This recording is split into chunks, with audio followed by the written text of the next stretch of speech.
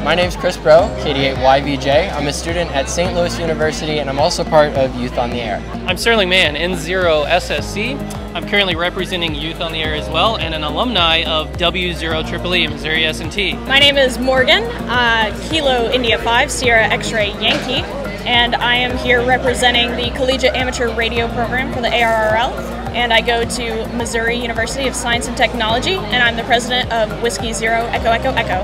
I'm Thomas Francois, KX0STL, electrical engineer. Uh, I just graduated from Missouri S&T, and I'm representing the uh, Collegiate Amateur Radio Program. Uh, I'm Catherine KI5YKK, and I go to Missouri S&T, and I'm part of the uh, W0 Triple E Radio Club. My name is Peyton. I uh, am KD9VSG and I'm part of the uh, amateur radio club at uh, Whiskey, or is it Whiskey Zero Echo Echo Echo, and uh, we're here representing ARRL as well.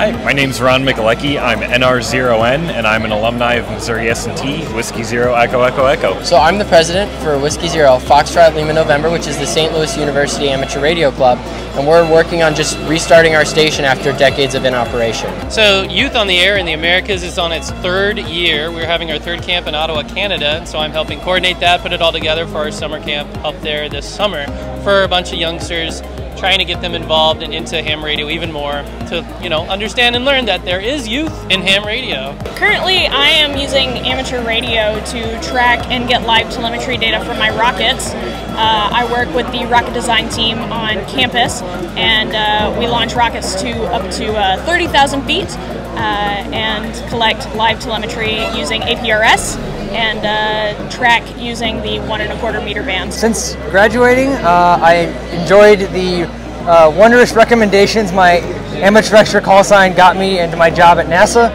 Um, I do RF testing uh, for spacecraft.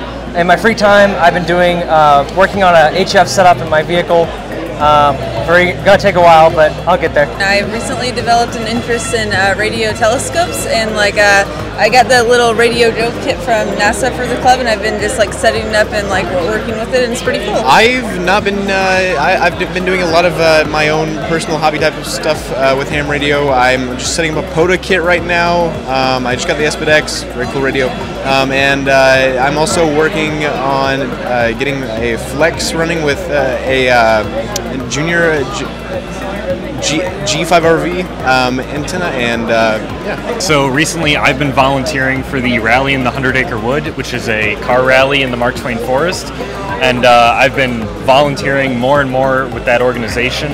And recently, I got to run net control for the event.